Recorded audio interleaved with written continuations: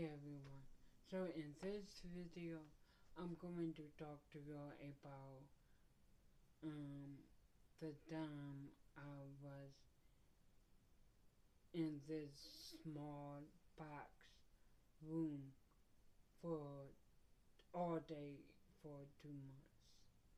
So anyway, um, for my schooling years I went to three schools.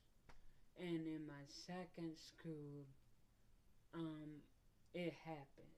So I will name my teacher differently for legal reasons and privacy reasons.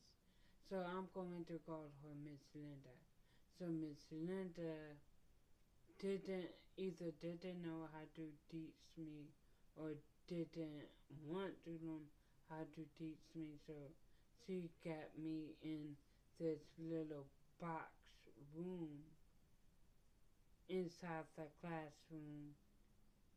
And all day while the rest of the students was out in the actual classroom learning whatever.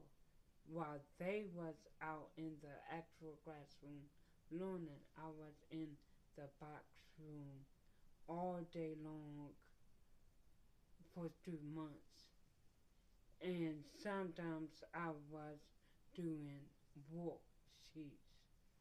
And other times I was just sitting there looking at a blank wall until my another teacher realized what was happening towards me, what was going on, and she helped me out and everything like that.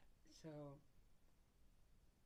I didn't know I was young, so I didn't know what was happening to me, and I didn't know that it wasn't normal like it wasn't normal and that was wasn't supposed to happen.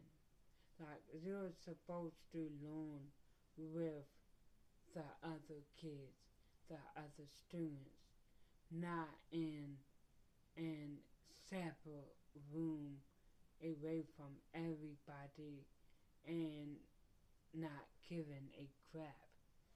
So I didn't understand what was happening. I thought it was normal and everything like that. But um, I don't know if she does didn't know how to teach me or did they want to learn how to teach me. So anyway, I hope you all like the video. Like, comment, subscribe.